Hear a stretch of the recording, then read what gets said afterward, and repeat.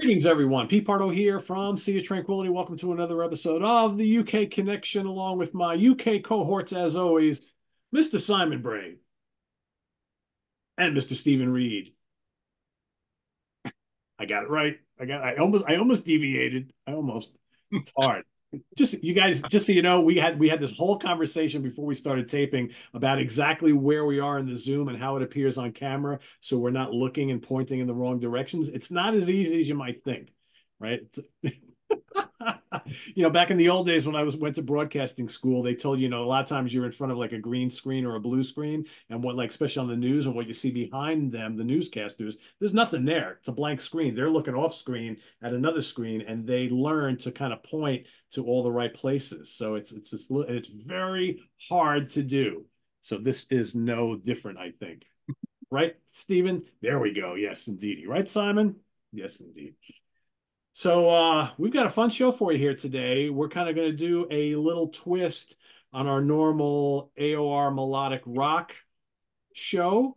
Similar format, different genre, sort of, right? So instead of uh, that type of music, today we're going to take a look at the new wave of British heavy metal. We're going to talk about a down and out classic, one that's a little bit more of an underground pick, and one it's like, oh, that band, yeah, they were a new wave of British heavy metal band.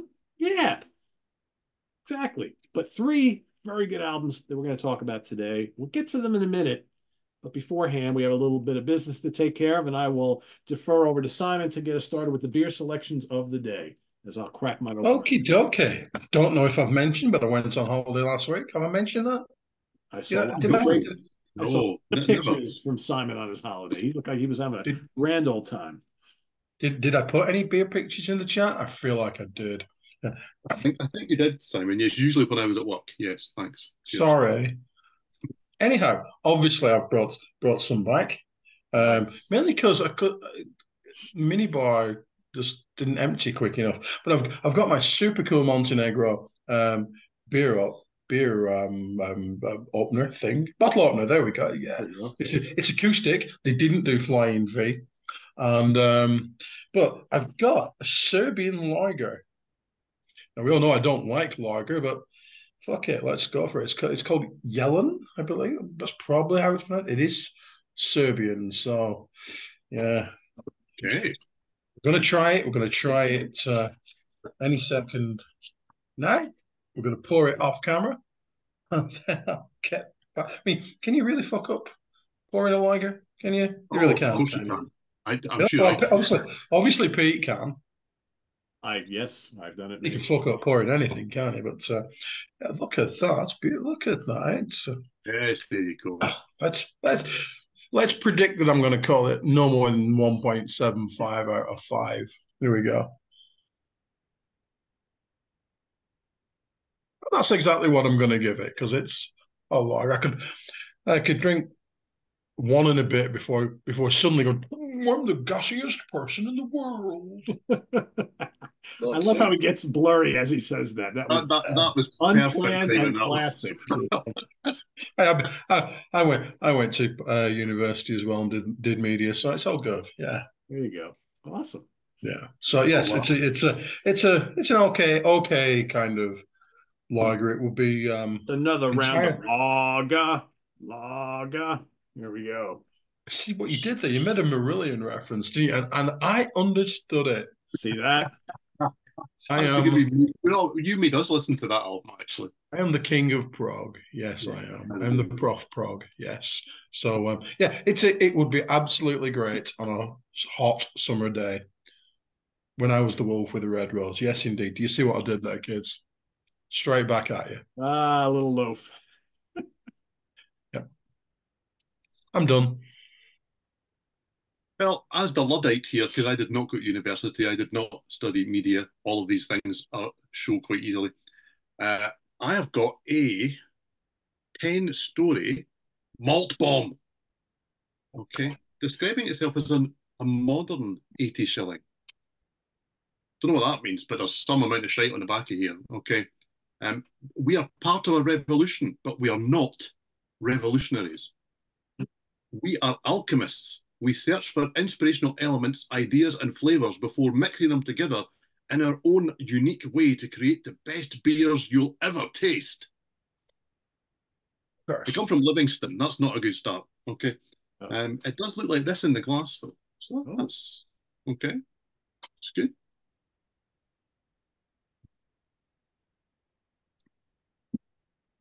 Mm, I don't know if it's one of the best beers I'll ever taste. It's not bad though. It's about a three point eight nine six four. I think that's oh, really good. Yeah, yeah, yeah, like that. Mm. It's very malty, I have to say. It does it does what it says on the bottle, basically. And that's what yeah, it's, quite bitter as well. Yeah, that's got really quite good actually. Like that. Malt bomb, that's gotta be malt up front, right? Is malt up front to be fair, yes. Absolutely. Didn't need all the nonsense on the back. There you go. Yeah, I got a no nonsense can here as well. So this is I, am drinking a beer from the home of Steve Keeler, Middletown, New York. It's uh, from the Aspire Brewing Company, which is a brewery that just came popped up like about a year ago, created by the guys who own this um, kind of beverage center franchise called Beer World. It's like a beer store. They have them all over the place. They put all their money together and they decide to make a brewery and restaurant, fun place, very cool place. Anyway, the uh, the beer is called Weidmann German style Pilsner. Their cans are very boring. They all kind of look the same, although all of them maybe have the the lettering is a little different. They're all in these like black cans that are just kind of boring. Uh, and this I quite is, like that. I huh? quite like that. I quite it, like that. It's majestic. It's just, it's different than a lot of the other American brewers who are doing all these wacky things with the cans and all these like drawings and paint and you know they're all this is kind of plain, but it's kind of majestic and like you know this is this is beer, right? You're not gonna yeah. So German style Pilsner, 5.3%, 16 fluid ounces. Uh, and it looks kind of like this. I've lost some of the head is kind of dissipated here, but it's in my Zeus Brewing Company glass. And uh, nice, you know, it's a little, it's slightly hazy for a Pilsner, but not really. Um, it's really solid. It's just a good tasting German style Pilsner. Great for the spring and summer months and uh, 3.75 really good. I could drink this any day of the week. Just really good. Clean, enough character to it. Yeah, it's good. That's good. Good stuff. Cheers, gentlemen. All right, Steven, you want to, uh, one of you, would you like to introduce the three albums that we're talking about today? I will indeed. We are going for so a classic NWOBHM album. We have got Lightning to the Nations by Diamond Head. Okay. For the underground classic, underground, yeah, I suppose it is, we have got Shock Tactics by Samson. Okay. And then the one that falls into, well, I don't quite know what we're calling this. Is it an, are they a new wave of British heavy metal band at all? Possibly, but they certainly came out around this time. So this is the debut album from Demon. This is Night of the Demon, probably as famous for its cover as it is for anything else. Yep. Um, and that is our third selection. So that's the three that we're going to be covering. So I don't know if you want a bit of background on. We'll start with Diamond Head, will we? So Lightning to the Nations. This is the debut album by Diamond Head, released in 1980. Uh, they weren't on a label at the time, so it was released in, as Pete showed earlier, a plain white sleeve, just with a kind of band signatures. There you go on the front, and it was known more as the White Album rather than Lightning to the Nations. At that point, the idea was to record it and then shop it around and try and get a deal. In the end, the band printed up uh, a thousand pressings, sold them all themselves at gigs and mail order, as you did back then. Uh, and so successful was it that they printed up a, a second load of the same amount, sold them out as well. And eventually it ended up uh, on a German label called Wolf Records. Um, in 1981, it got a German only release there. Um, and after they did that, the German label promptly lost the master tapes, which was very helpful for everybody concerned. And from there, the album has had a variety of different kind of versions. Lightning to the Nations was what it was called when it came out in Germany. It's been reissued as the White Album, as Lightning to the Nations. I've got a two CD version here that was put out through Cherry Red just three years ago. It was also put out in a two CD version by Silver Lining Music two years ago. The band themselves re recorded this album in 2020. Let's not talk too much about that version, to be fair, we didn't need that.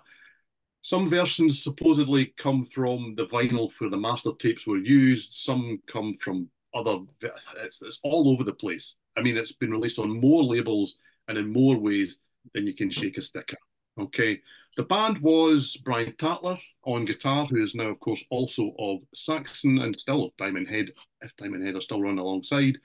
Sean Harris on vocals, Colin Kimberley on bass, Duncan Scott on drums. It was produced by the band with a guy called Reg Fellows, who was part of the management team at the time. And yeah, obviously, because of the way that it was released, this is not charted anywhere, but there's no doubt that it has become a cult classic. It's become very much an underground cult classic and seen as one of the kind of standard bearers for the new wave of British heavy metal. In all honesty, it's possibly best known for having four of its seven songs covered either on stage or on record by Metallica on a very, very regular basis. And they have spoken about this band as an influence right from the off. Uh, and that is the White Album, or as I've got, Lightning to the Nations by Diamond Head. Awesome. What'd you think, Simon? Well, as you know, I try not to think because I'm not allowed. But uh, you know, you know, um,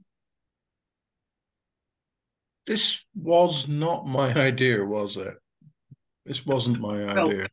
Excuse me interrupting you, Simon. I was actually going to ask because I've got these three albums. I know that Pete does. This is not necessarily your wheelhouse in the way that we did Southern Rock last week. That wasn't necessarily Indeed. my wheelhouse. Indeed. did you um, know these albums before we started? I'm aware. I own one of them. I'm not gonna not gonna show it yet because it's not this one. Um, I own one of them. Um, I own a few uh, Samson, not this one.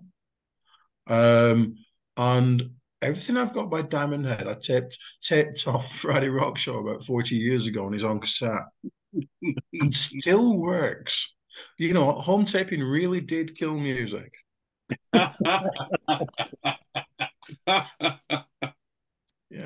but the thing is though, and I I do like this record. I really do like like it. It's not like me to not buy a physical version of something that I actually like. So I have other than the fact that you know when I came out, it was a bit of when it came out, I was a bit of a whippersnapper, and I'd only really just started buying it.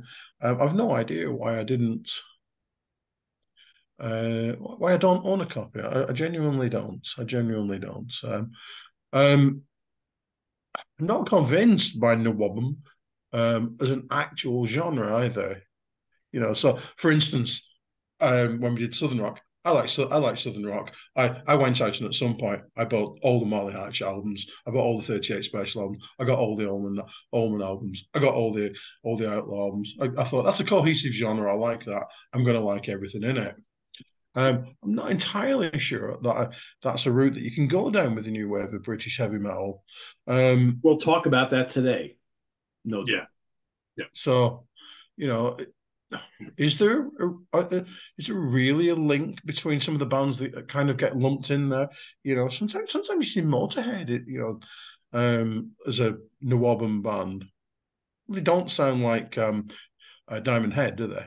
No. So maybe we'll discuss that at the end. But anyway, as a, as an album, um, it's an excellent album. Isn't it, isn't it a good album? It really is. I don't know why I've never bought it. I will, I will, if I see it in the wild, rectify that situation. You know, there, there are a number of classics on the, or not.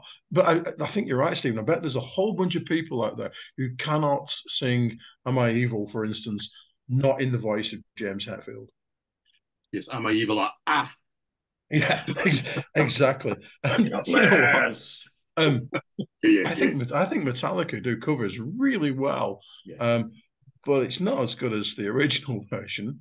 Um, none of none of the covers are quite as good as the original version, but I, am sure it's given them a nice little pension or something like that.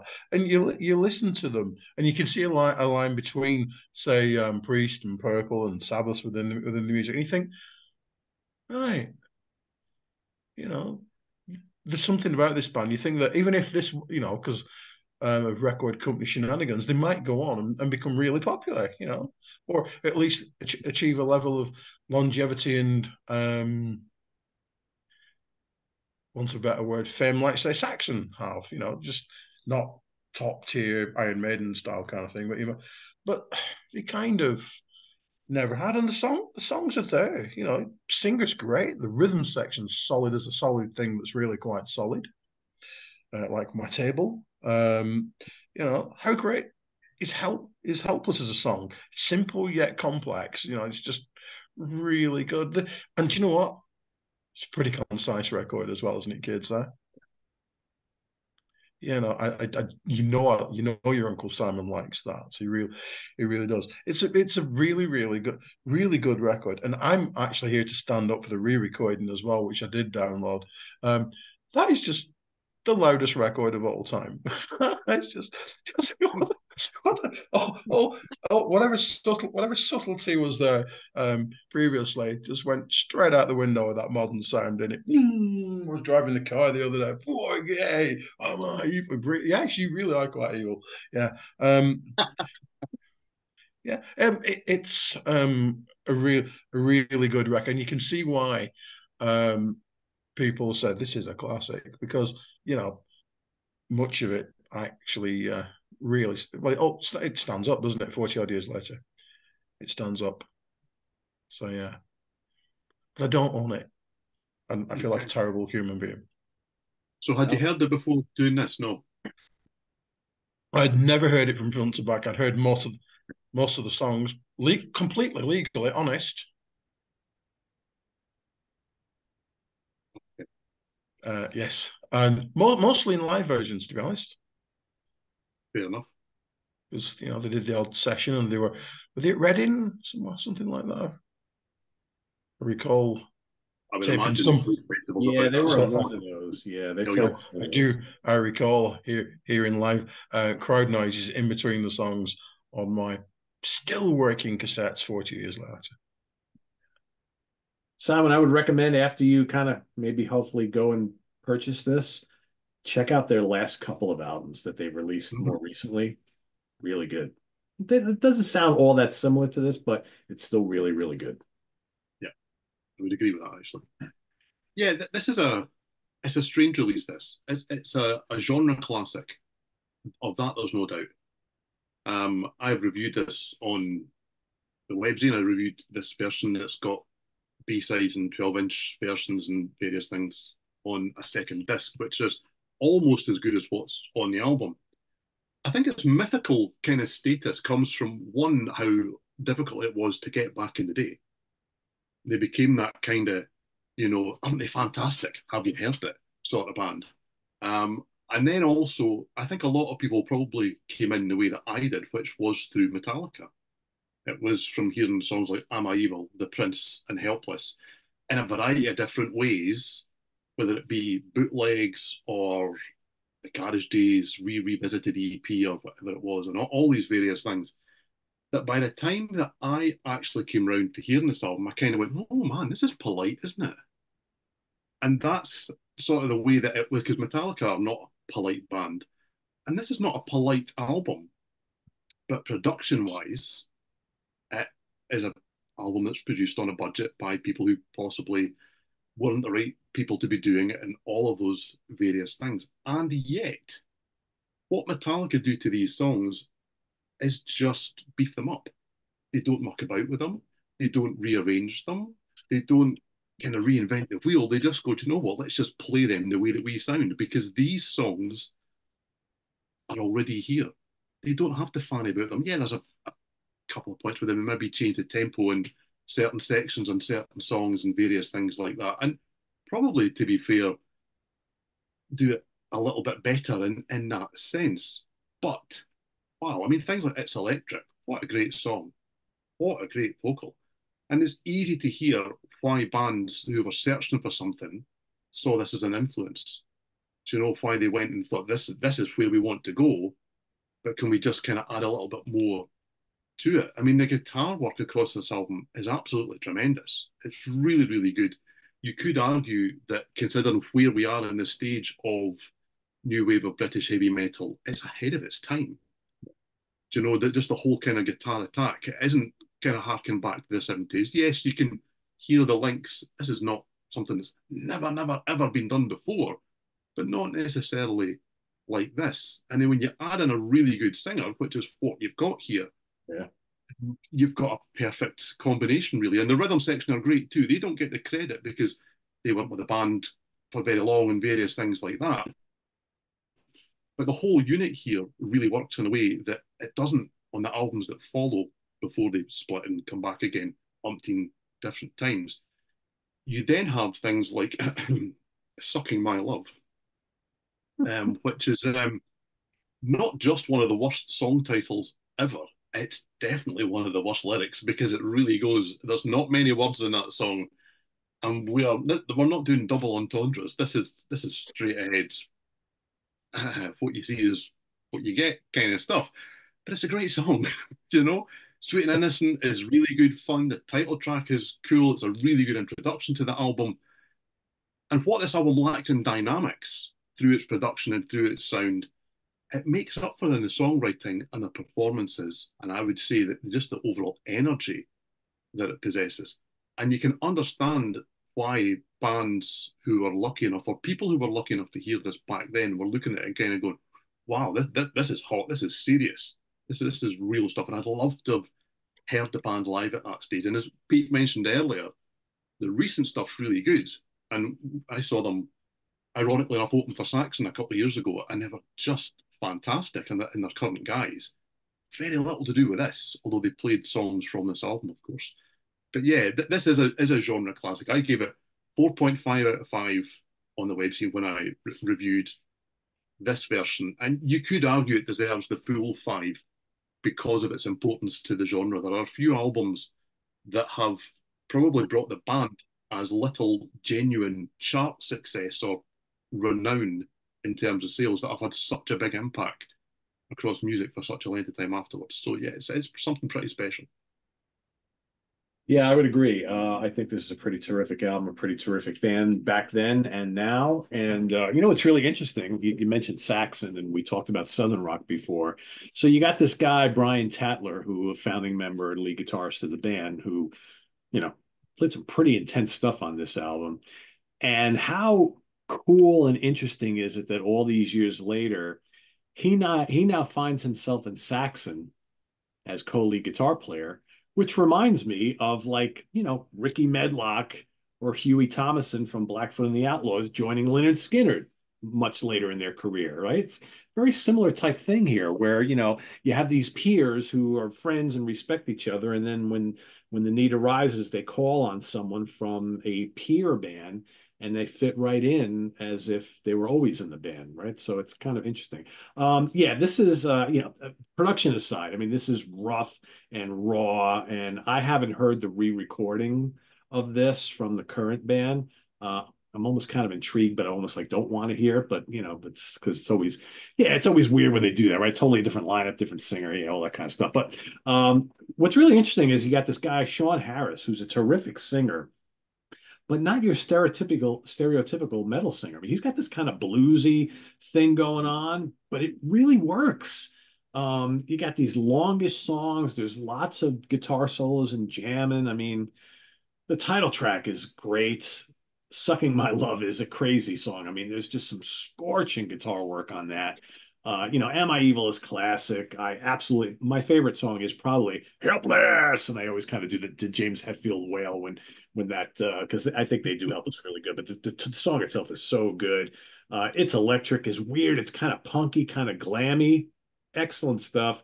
Um, everything on here is great. And you know, if you get any of the editions of this, like the new one that Steven showed, or even the early one, you get like all the like B sides and singles because that was the big thing. Yeah um, with these new wave of British heavy metal bands. They release singles and EPs constantly. So here you got, you know, Shoot Out the Lights and Streets of Gold and Diamond Lights and, you know, so on and so forth. All excellent, all worth hearing. It's raw. It's just filled with great songs. So I can't recommend this highly enough, and it's a classic for a reason. It's just sadly that this band never really achieved the heights of, you know, Maiden or Saxon or Def Leppard or any of those other bands at all. So, but uh, yeah, really great stuff. I recommend it highly. Great choice for today. Okay, so album number two is Shock Tactics by Samson. So this was released in May 1981 through RCA. It was produced by Tony Platt, who had worked with the band on their previous album by remixing various things. Well, he remixed a single, but they actually remixed the whole album. That was only released on CD many, many years later. I digress. As I say, this is a third album. The lineup for this album was a singer called Bruce Bruce, that we obviously know better as Bruce Dickinson, Paul Samson on guitar, Chris Aylmer on bass, and uh, Thunderstick on drums. Okay. Barry. Yes, Barry Purkis. But there you go. Who looked like this. Anyway. is that the guy? From, is that the guy from Pulp Fiction? It looks like it from that scene. that's him. yeah. That, that's there you go. So yeah, so the same lineup had recorded the previous album, which was Head On, which is what I've just uh, shown there. And oddly, they were also credited, and I say pictured, but drawn on the cover of the debut, which is Survivors here. Okay, even though only Paul Samson and Barry Purkis from that four actually play on the album. John McCoy from Gillan and various things, he was actually the bassist on that. He wrote material, all very mixed up at the start. Okay. Um, keeping a steady lineup for, for Samson really was difficult throughout the, the, the, time as a band. Clive Burr had already joined and left for Iron Maiden by this point. By the summer of 1981, so after this album, um, the Live at Reading album is released with Mel Gaynor, who would go on to be Simple Minds drummer. He's playing drums on that due to musical differences with uh, Thunderstick. And it was at that festival that uh, a certain Rod Smallwood uh, happened to bump into uh, a singer um, and suggest that he may want an audition with the band that he was managing. And from there, this band obviously then changed, and Iron Maiden went on to become the Iron Maiden that we knew from Number of the Beast onwards. Shock Tactics didn't chart anywhere, which is probably no great surprise, really. But when you think about what was happening with the new wave of British heavy metal and the fact that Samson were arguably a little bit ahead of the curve. It's maybe a bit of a surprise, but it's definitely a bit of a shame. So that's Shock Tactics by Samson. Cool. Simon, your take on the album. Hmm. And I'm going to go let the dogs out real quick. I'll carry on. I'll be right back. Just don't talk about me while I'm gone. You can trust us. I know I can. I'll be right back. It's okay. He's gone it's madness. He's left us in control. He has, hasn't he? What can we do? Let's let's get some new programs. yeah. That Peruvian nose flute one we've always been talking about. Is that it's right? The way, it's the only way forward. Only way. Absolutely. Really is, isn't it? Yeah. yeah. Absolutely. Every yes. day, without fail. Peruvian nose flute yes. at three. All you know it makes sense. Time. We all know it makes sense. Yeah. Yeah. Sure. Yeah, to move to move to move progress. Um, yeah, Samson. Hmm. Like I say, I've got I've got some Samson. I feel like um, I know why Samson didn't make it. one of the reasons that they didn't make it is by far the best song on this is um, the opening song, uh, "Riding with the Angels," and that's a Russ Ballard song, isn't it? it mm-hmm.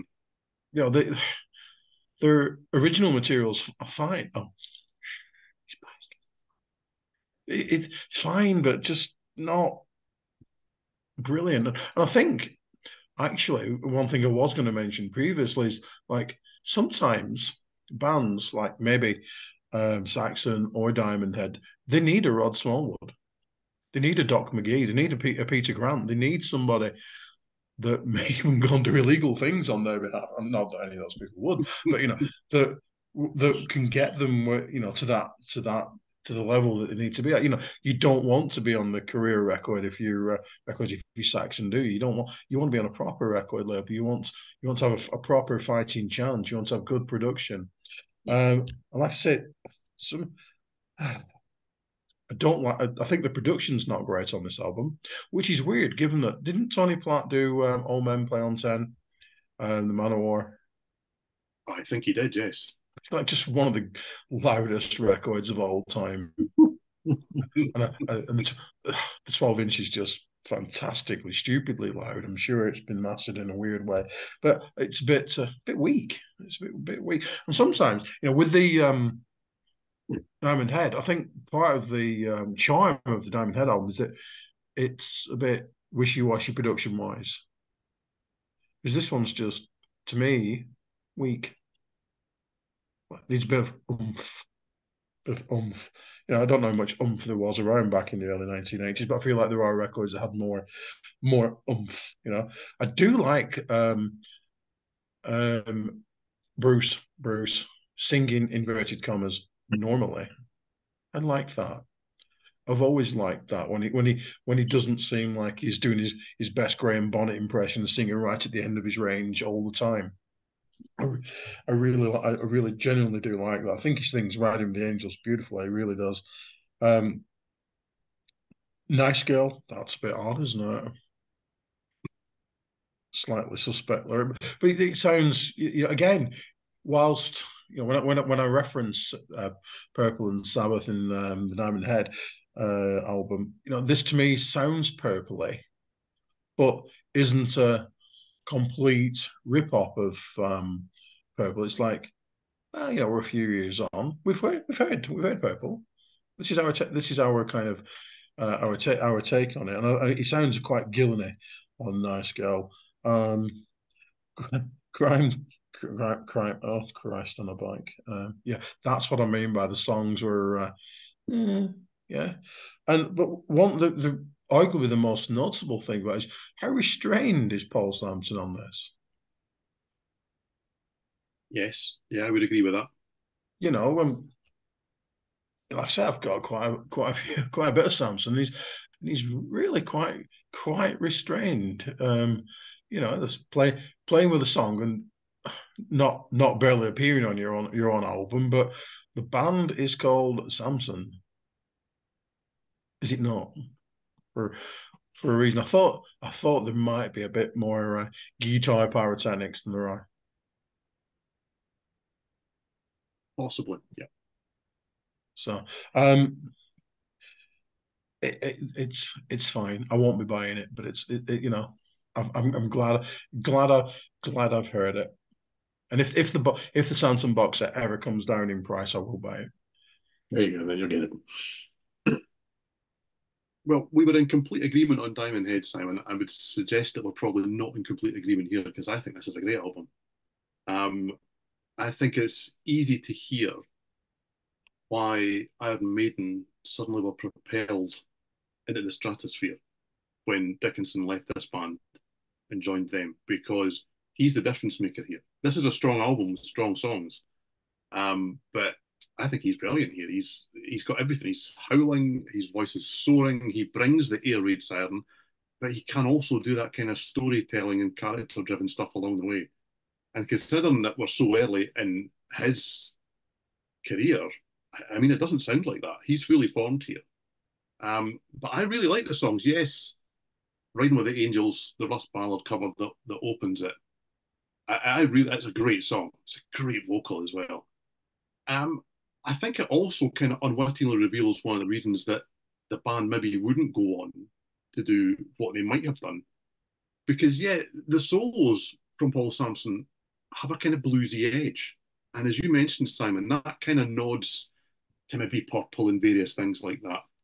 And when you look at what Paul Samson did outside of these kind of three albums, I mean, the debut's not even the NWOBHM. It's not really that. It's kind of like a it's a rock record. It's more like Thin Lizzy inspired and, and various things like that. I would suggest Head On moves them into new wave of British heavy metal territory. And Shock Tactics for me is kind of the swan song for the band doing that. But he's not necessarily that guitarist. Although you know he's behind these songs, I don't necessarily think he's that guy. Uh, and, and that makes it for, for an interesting record that I still think really works. I mean, Earth Mother's outstanding. I mean, Dickinson takes the the chorus by the scruff of the neck there, and and he's got something special going on. I love Bloodlust. It's really just a kind of rollicking good time. There's so many vocal tricks in that one. Bright lights. It's energetic. It's bluesy. It's hard hitting. It's got a great chorus and, and a vocal that should have, I would say, with the right push, that could have been a hit.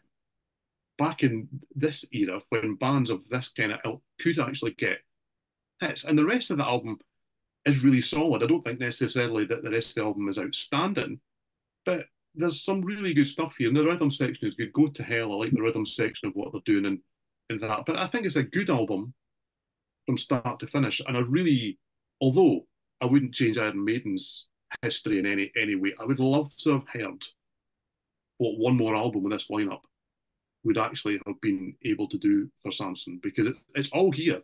It's ready to go. They just ne- kind of need a little bit more oomph I think it's in the same way Simon had mentioned it, just needs a little bit more push behind it. And they did make some really, really good albums after this, but they become a kind of hard rock band.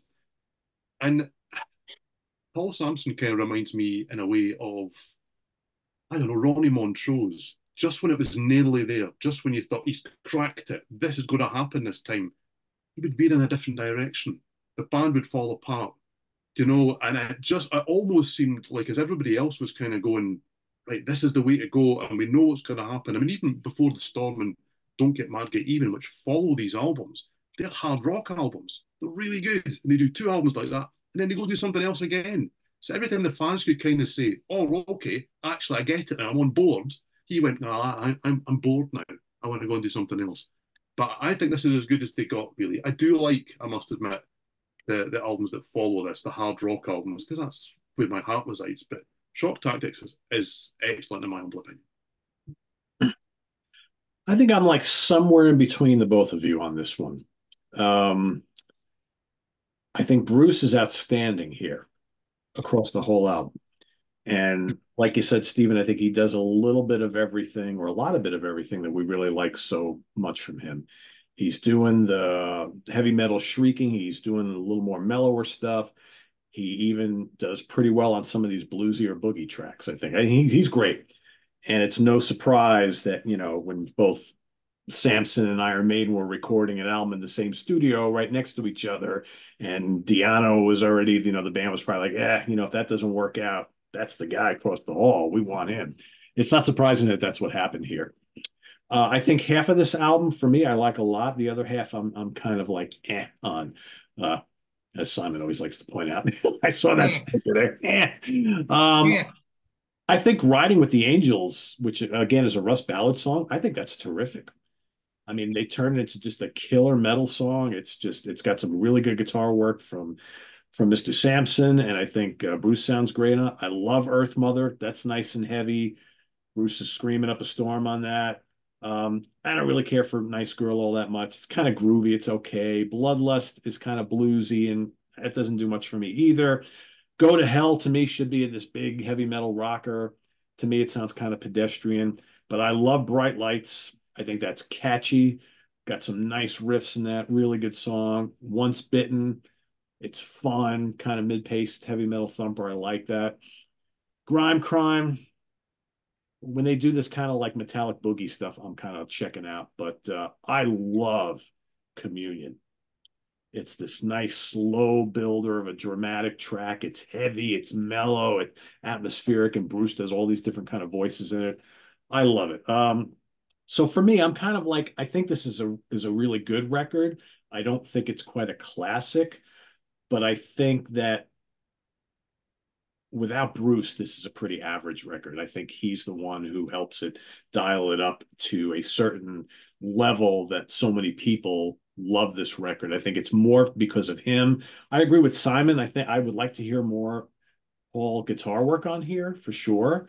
Uh, there's, guitars on here, but I, I, I want, I want him to unleash a little bit more. To me, it's almost like it's a vehicle for Bruce, and and on that aspect, it succeeds. So, um, so I don't know. Half of it I really like a lot. The other half is kind of average to me. Uh, but I think in their catalog it sits uh, you know near the top because of uh, because of Bruce. mainly, and some really good songs. But yeah, I recommend it for sure. I like it. Um, I don't know if it's classic quite, but it's pretty close, I think. Okay, right. so that takes me to the third selection, which is Night of the Demon by Demon, which was released also in 1981. Um, the band were actually signed to Clay Records, which was Mike Stone's record label, but they were then licensed out to Carrere, who were a French label, I believe, who also had Saxon on them. Um, Stone is credited as an executive producer, um, but the record was actually produced by the band themselves, which is a little unusual for a band recording their debut with no real kind of track record behind them. So the band was formed by Dave Hill on vocals and Myles Spooner on guitar. They were joined by Les Hunt on guitar, Chris Ellis on bass, and John Wright on drums. They'd all been in a band called Hunter prior to joining up. Now, I don't think the album charted anywhere as far as I can see, um, but coming from the kind of the same label that Saxon were on, clearly marked this band out as a new wave of British heavy metal band. And it's definitely something that the cover reaffirms here, I would suggest, as does the album title. This kind of screams heavy metal in a way that an awful lot of things didn't back then. Um, Demon would release albums regularly until 1992 without ever really breaking through beyond kind of being a cult act. Uh, and then they split up for a time. They reformed in 2001 and they've released albums on a semi regular basis since, with a new one, Invincible, due just next month. That was only just announced a couple of days ago. The only original member left now is the singer Dave Hill, uh, and that is Night the Demon by Demon. All right, Simon, what do you think? This, my friends, is the dog's bollocks. Simon Bray wholeheart, wholeheartedly approves of um, much. So, so, much so that he brought he brought the um, the picture disc version. Yes, yes, he did. Oh, yes, I like I like I like this a lot. I, actually would suggest that it is a new wave of British heavy metal album because why not? You know, it wasn't it wasn't it. I like that reasoning. I like that reasoning. Why the fuck not? Well, you know, if you if, if you know, here's a time to have that discussion. You know, if if if you think that, um, to me, De- Demon are kind of like UFO-y, Thin Lizzy, a White Snakey at times. You know, why not? You know, other bands that get lumped in as you know NWOBHM bands, Spider status quo. You know, just there's it's it's a broad church like the like the genre of metal itself is. You know, do they sound like Venom? No, no, they don't. They sound like Motorhead? No, they don't. They're not like Def Leppard. They're not like Saxon. They're not like Iron Maiden. It's a very very broad church. Do they have do they have guitars? Yes, yes they do. The uh, is the production a little bit homemade? Yeah, yes it is. But that's part of it. I've killed him. you just fell off his seat there. You said homemade. Oh, Boom, gone. He's gone to find his Peruvian nose flute. Oh, he has indeed. Yes, I think he but, sat on yeah. it back. Oh, wow. Okay, so um, yes, um, I, I, I really really like this record. I um, I may, may have invested in more more demonic material as well. Um, but yeah, um, some really really good stuff on it. And but the the opening track, you know, um, you think, oh, this is going to be really scary shit. Like listening to Black Sabbath, like when I'm walking through somewhere really frightening. Oh, oh, oh, oh, Night of the Demon. It's not like that. It's oh, that's took a turn, hasn't it? You know what I mean? Um, but uh, side side one is magnificent, utterly magnificent. Um, you know, if we were if we were going through perfect sides again, I'd, I'd be going, oh, look at this. This is a good one. Side two's not quite as good, but there's some really good shit here. Um, So um, um, decisions is UFO. Uh, I think throughout he, he's delivering because he, they're from the Midlands, aren't they? I think. I think so. Um, throughout his phrase, his style of phrasing reminds me of um, of Phil Mogg. It might not remind anybody else of him, but it reminds me of me of him, and that's always a good thing. Yeah, you're pulling your face, Stephen. Don't do that. Um, no, that was me being thoughtful, Simon. I was actually being thoughtful. You've never seen that before. That's, no, that's no, wrong. No, I, didn't, I didn't even know you could do that. Holy shit! Wow. Yeah. Anyhow, um, I, I see. I, I feel a lot of uh, UFOs. I listened to this record. I even think that that one might actually, with with bigger keys, might have ended up on, or could have ended up on Misdemeanor. Um, this I love um, Fool to play.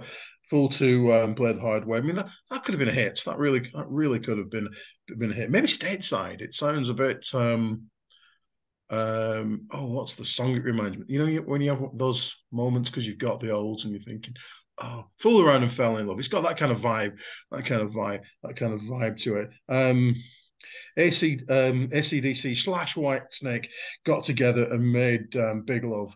Yeah, how how can you have a how how unless you're Fleetwood Mac can you uh, have a have a song called Big Love and not not make it sound ridiculously brilliant? Eh? It really really is. And don't they foreshadow where they're going with into the into the uh, into the nightmare? Um, nightmare, yes. Uh, yeah, into the nightmare. Don't know why I confused myself there. They kind of forced because they did like many many of these bands. They kind of start out no and then then they get their well. This is what we really want to do you know, I may end up as a meandering prog band, that sort of thing. Uh, Saxon cover um, Ride Like the Wind, yeah. Then suddenly remember that they're a great metal band. Uh, you know, they kind they kind of go in different places. If you know the ones that have got some form of longevity, and you, you can see what you can see with uh, Into the Nightmare. Oh, that's where we might be going. You know, we might be going a little bit more. They made a melodic rock album that down that that way. Um, I very, very much in, enjoy uh, this record. Very, very much so. And I am I am prepared to stake my colour to the mask and say, yes, it is in a NWOBHM album. Yes, it is. You know, your your comment about UFO's misdemeanor, I think, is very well founded because starting with their next record, it's not all that different, right? I'll leave it at that. I'm going to pick up from where Simon left off, and that is he's going to see this as a new wave of British heavy metal album. And yes, it is, because I really think that what we do now is that we look at things through a completely different spectrum. We go back and look, I don't just mean we, the three of us, I mean in general, we look at albums that came out 40 years ago plus, and we categorize them by what we now describe all of these musical genres by. Heavy metal was a thing back then, it was a movement and it was really broad and it didn't need to sound like that. You didn't need to have like guitars that sound like this and a vocalist that does that. And if he grills too much, it's death. And if he doesn't do that enough, then it's symphonic. And all this bollocks that we end up doing now, because that's what it is. It's all bollocks. It's all just made up, and it's just so that people. Because you could say every band that we now label as new wave of British heavy metal, if we look at their output from back in 1980, 81, 82, absolutely none of them sound alike. No, they don't. It's what it is is a movement. It's a movement. That's all it is. It's a movement. Is what it is. It is bands who are playing heavy rock. Because nothing, I would go as far as to suggest that by modern standards, maybe with a few exceptions, Venom possibly, none of that is heavy metal by what we call it now. Not even arguably the first couple Iron Maiden albums, arguably, because metal has moved into something else entirely now. So when we come to maybe look at bands Witch. like this, Maybe Angel Witch. Yeah, as there, there are a few exceptions there, yes, uh, but that, but they are few and far between. Really, you look at Saxon, arguably the archetypal new wave of British heavy metal band, and you look at Wheels of Steel and Strong Arm the Law. Now you go, they're great heavy rock albums, aren't they? That's kind of where we've moved to. This is a heavy rock band that happened to come out during a period when all of these bands, because they were heavy, were called metal in some shape or form. And it was the new wave of British heavy metal because the scene had come from here before with Sabbath and Priest and all those kind of bands. And all we're doing is we're saying, look, it's bands like this are coming back again. Is really all we're going to do. And yet, this is a confused album because what you do have, side one, arguably, is a new wave of British heavy metal side. It's what it is. Yeah, it's got Full Moon, it's got spooky keyboards that Ozzy would nick later on, fun enough, chanting and kind of crazed laughs. There's some sort of fun of demonic invocation going on. You know, we are we're going to pull a demon out of the ground and we're going to absolutely adore it as we do. And then we go into Night of the Demon, which is just a great hard rock song, is what it is. But side one is a cult lyric based, it has a theme, this is, I believe, an original pressing. The lyrics on the back you can't see at all because it's so I can't I can barely read them. There's lyrics on both sides of this. So the lyrics for side one. They don't even own up to the lyrics on side two because the album becomes something different. How are you going to read any of that? Even on the CD, it's oh, ridiculous. There you go. I, I, mean, but they don't even put side two's lyrics on it anywhere. It's just a strange kind of thing where it's almost like they've kind of gone, side one was what we intended to do here. They made us record the rest. That's not to say that it's not brilliant, but it doesn't necessarily all feel like a cohesive album.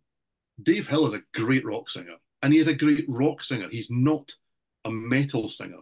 But man, oh man, what a great singer he was, and still is, I may add. I mean, everyone's aged, myself included, but even on the new song, he still sounds great.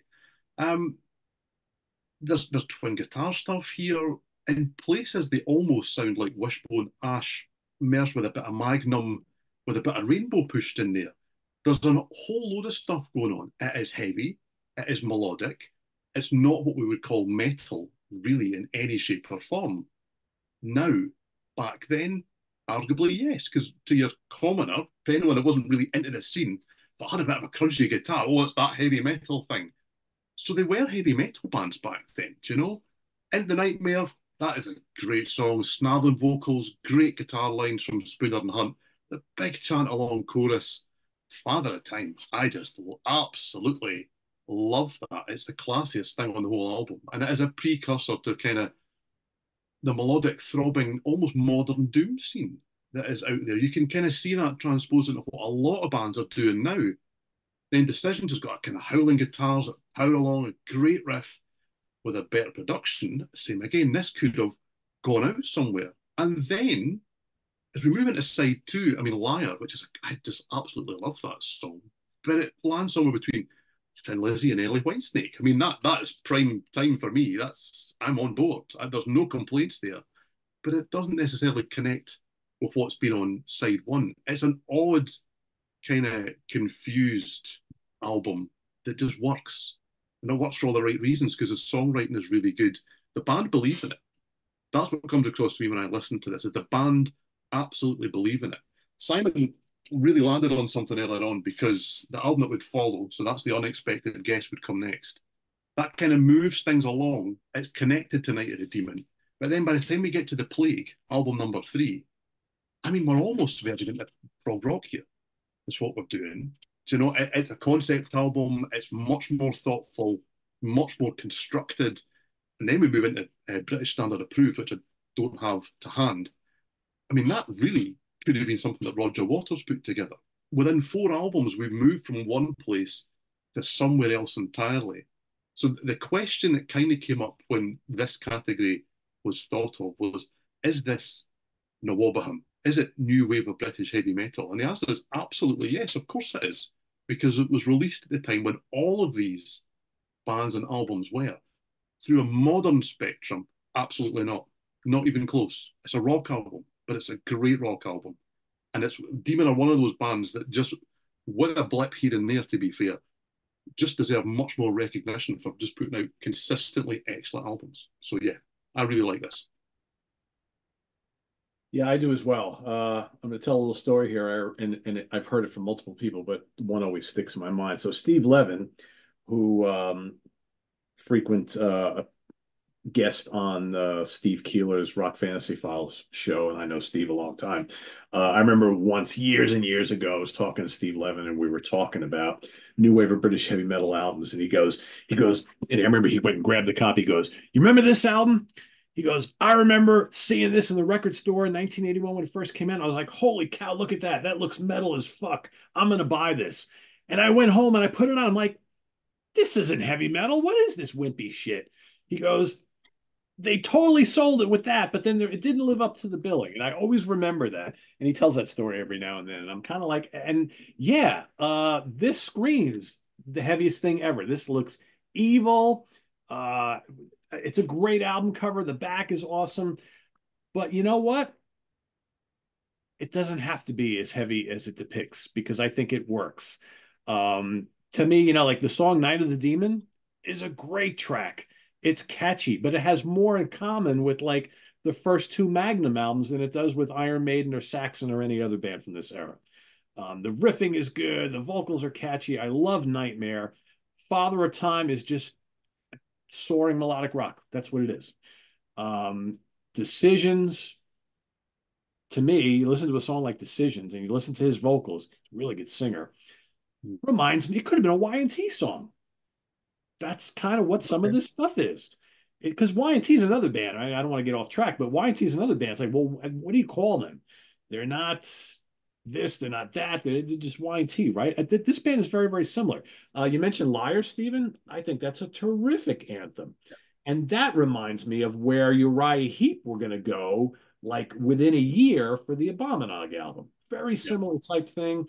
Fool to Play the Hard Way reminds me of Whitesnake. Um, Ride the Wind is catchy. One Hell of a Night is really good. I think this is a terrific little album.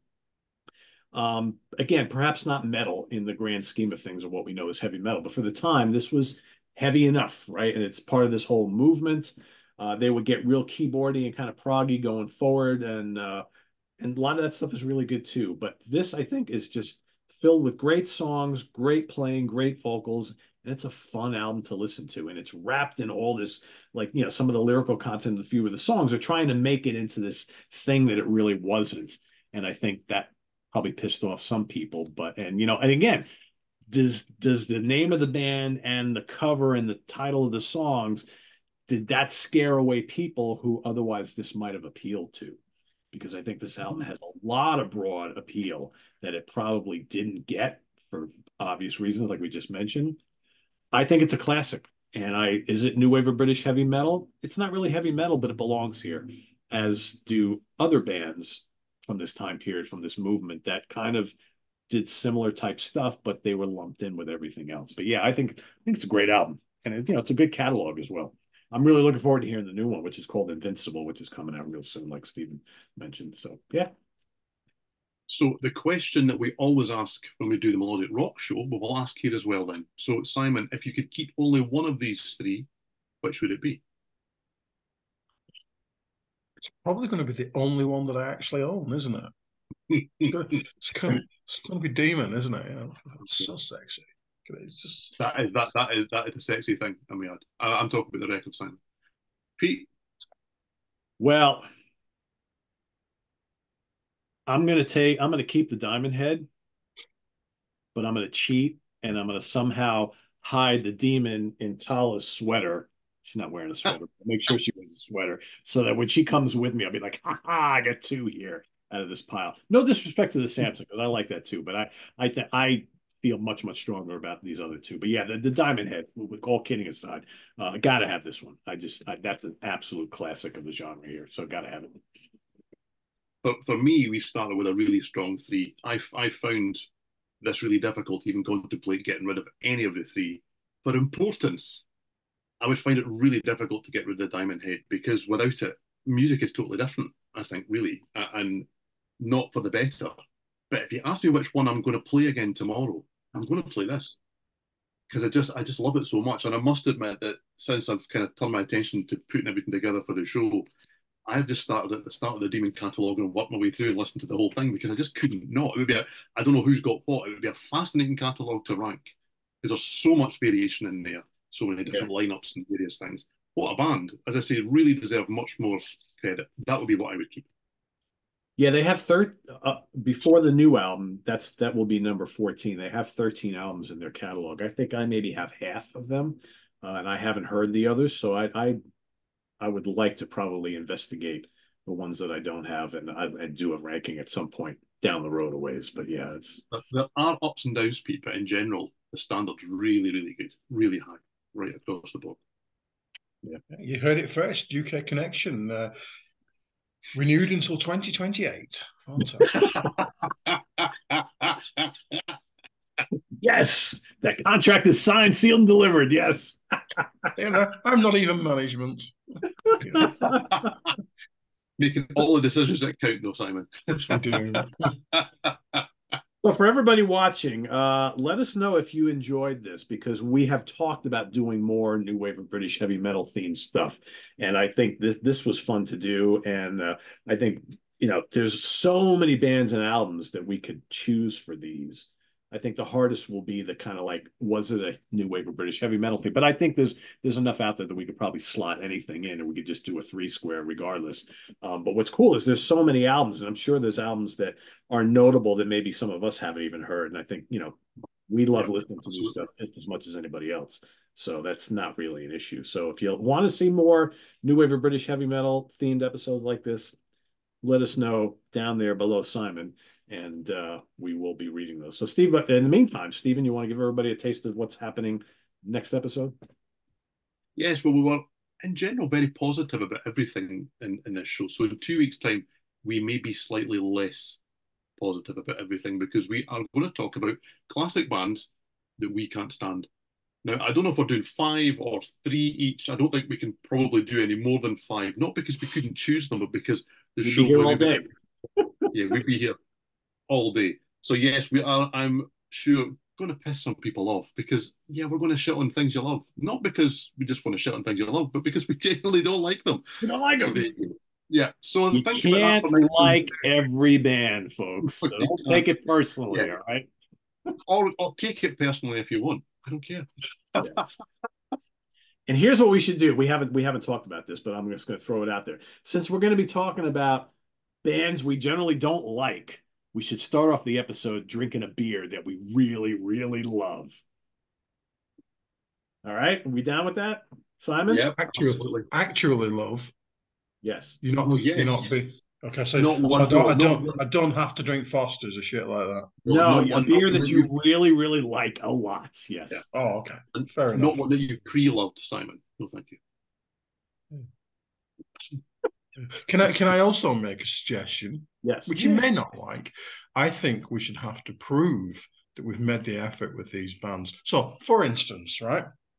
Um, I'm not going to use these examples. I can't stand Blur, right? But I have never invested in any Blur because I don't think I like them and I can't stand his voice, right?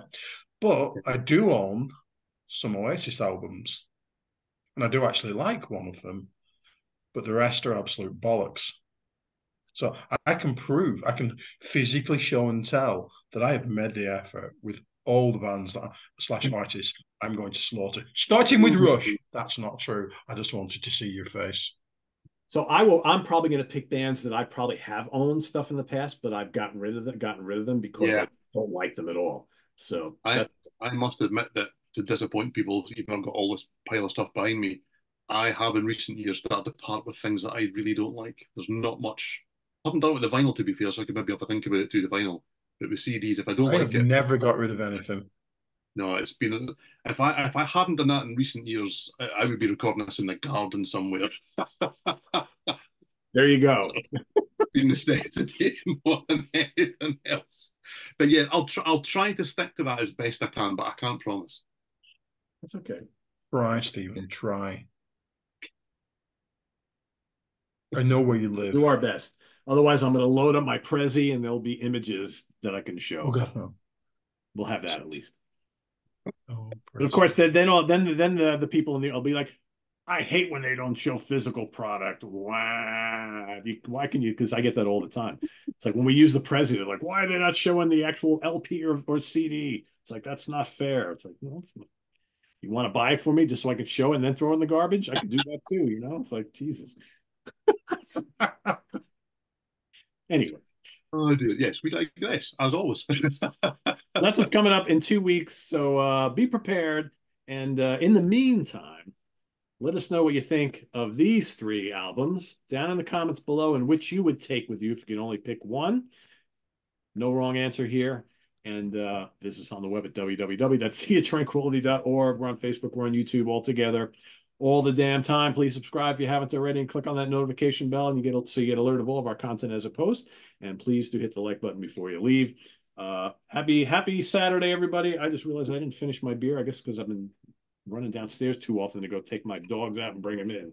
But uh, I will rectify that. Hold on. Ah, yes. Till next time, for Simon Bray, Steven Reid, I am Pete Pardo. Thanks for watching us here on the UK Connection. As always, tune in tomorrow morning for ranking the albums. Rick. Regretting that now, Pete. Regretting that now. I'm sorry, I've spoken over the top of whatever you're ranking. I have no idea what you're ranking, but you, you're regretting that now. Ranking the albums, top 10 anyway, of Savoy Brown, myself, and Rick Labonte. That's coming up tomorrow. So stay tuned for that.